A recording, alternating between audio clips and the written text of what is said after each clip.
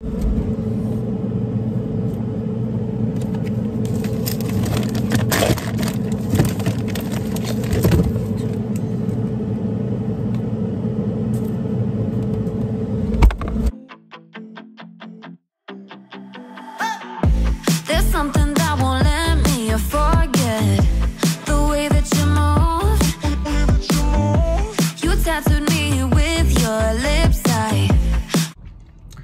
Good morning guys. Today is Friday and today is my uh, my first dose of a vaccine. So kinakabahan ako guys. I'm so nervous. brain shot.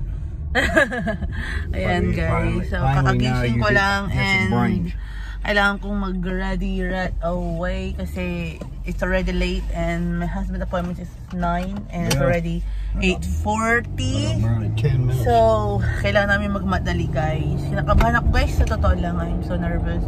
Kagabi pa, and I slept like 4 a.m. I force myself to sleep kasi nga, syempre, kailangan nating maging ano, relax for my first dose. And, how about you guys? Kinakabahan ako eh. Hopefully everybody's safe. Yeah. And it's summer on Monday, right? 21, Yep, 21st. 21st summer. guys, summer na siya. Yay! Dito na kami sa Let's go. See if we can Seymour, get parked down guys. So, hopefully, oh. Yeah, good. We can get parked down here. So, dito na kami guys sa Seymour. And, teka guys. And, so dyan, kabahan na ako. Patience. Yeah, we're patient. Yeah, kinakabahan na ako guys. As in, I'll, my, I think the cat is lost. You got your Man. what cat? Over there, over pa there. so ayan guys, wait lang kayo later because I know it's not allowed to No, um, take a video that in there. inside. As in, so balitan ko yung what, how does it feel, especially sa mga hindi pa na vaccine. Stupid shit. So, kayo yun guys. Get out of here. Tapos na yung uh, first dose ko and of course my husband is Uh, my husband is holding my hand while I'm you're trying to crush my hand. Actually, he's always like that, like that guy. So right now, I feel fine. So, di ko alam sa second dose.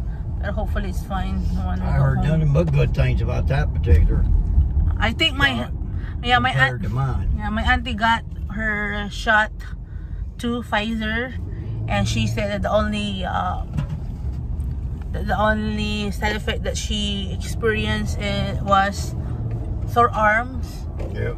So hopefully I'll be the same. I Kasi I'm really OA when it At comes least for me, if you had uh, you had any issues about a sore spot, you would have started feeling something by now. That you, with what I had problems. in. Is she the same person? Yeah, She- yeah. The one that did it the last time. I didn't start getting sore until about the time I left. And Oh, then it got, kept getting getting more intense, more Intense? intense. Yeah. Yeah, but me no no no I don't feel yet because no no no. At least at least you don't sleep on your left like I do most of the time. Yeah, I always sleep right. Dito kami sa bangko para kumuha ng um, money order and to get some quarters.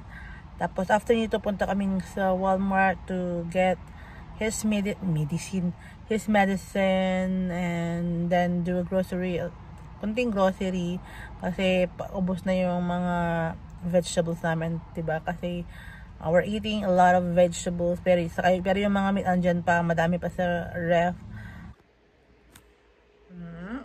Sayo na guys. Uh, hinihintay ko yung kaibigan ko guys. Kasi lalabas kami kahit alas 4 na.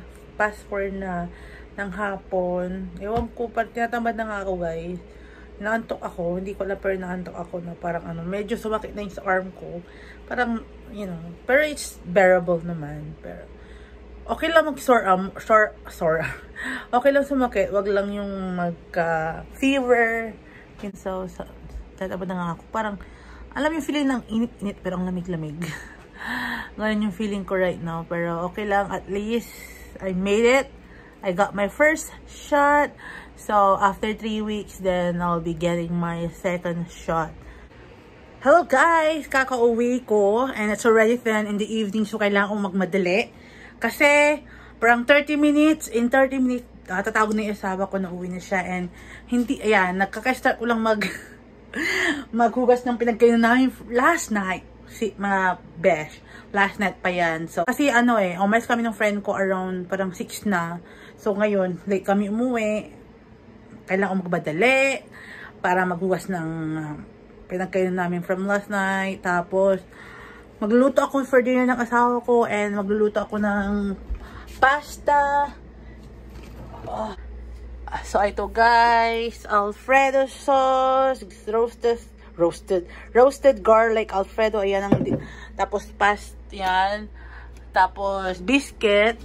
Start na akong magluto ng kanyang dinner and yun nga, ito yung biscuit tapos pasta, tapos yun. And just, just, he's just shaking. And, parang, ang sakit, ang sakit guys, ng, uh, ayan, parang, so, it's really sore. And, Your mail. Your mail. Ayan guys. Your mail. Again! Hey, they, they, they're Ayan guys. they're determined to give you Yung a card. credit card ulit. Now, if I can get them other people to correct my, the mess on my card, be good. Mm-hmm. Hello guys, good afternoon. Of course, today is Monday, so kailangan nating maagang magising. Maaga na ba yung 12.30 ng afternoon? Agising ko lang, basta ma dapat maaga akong magising. Kaya sa asawa ko para at least maihanda ko yung mga uh, gagamitin niya, pe, gagamitin or kakainin niya, mga ganarn. So, hindi pala ako nag-vlog. Hindi, hindi ako nag-vlog ng Saturday and Sunday. Kasi wala ako sa mood. As in, wala ako sa mood talaga, guys. Kaya, ayun, wala nga nga tayo. Parang halos, eh, hindi rin kami lumabas ng asawa ko. And we're supposed to go out actually, pero ewan ko sa asawa ko. So, hindi na lang ako nag-vlog. Ang ginawa na lang namin, natulog. And, tapos na tayo kilamos, guys. And, Tingnan nyo yung kusina namin. Actually, ang naghugas ng pinagkinan namin last night yung asawa ko. Alam nyo wala ako sa mood. So, ito yung mesa naman namin na kailangang linisin. Linisin natin yan, guys. Linisin ito. Yan dito. Ito pala yung breakfast, the brunch ng asawa ko. Kasi it's already 12.57. Tsaka ito guys, syempre lilinisin natin yan kasi yung asawa ko na naghugas ng ating pinagkainan kagabi. So, lilinisin natin yan. Magiging busy tayo the whole day. This one. Siguro pati ito lilinisin natin. Ayan. Ang kalat kasi guys. So, ayan. Dyan. Dito usually yung mga pagkain namin. Puno na yung sa mga cabinet. So, ayan yung mga tubig natin. Yung mga RC ng asawa ko. Pringles niya. Ayan. So, So, today will be a long day for me. Maglilinis tayo, mag-aayos ng kalat na hindi natin nagawa during Saturday and Sunday kasi natulog tayo halos maghapon. Ako naman guys, yung kakainin ko guys, yung leftover ko from last night, yung munggo. Tapos mag, mag luluto ako ng um, isang egg, whole egg. Stuff. Ayan guys, so start na nating linisin. So ayan, yung may